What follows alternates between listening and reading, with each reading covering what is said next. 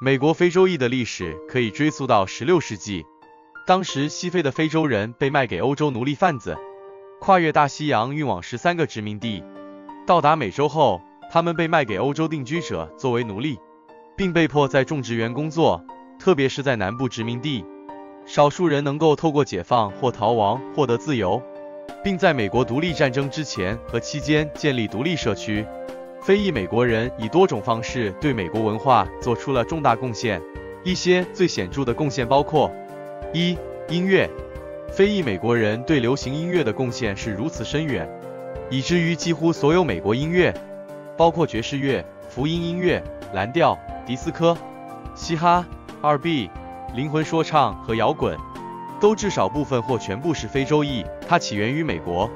二、文学。非裔美国作家对美国文学做出了重大贡献。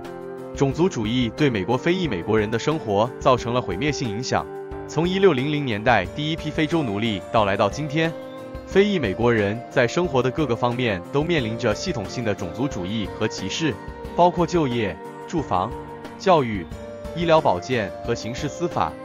非裔美国人在美国历史上一直遭受奴役、种族隔离和歧视。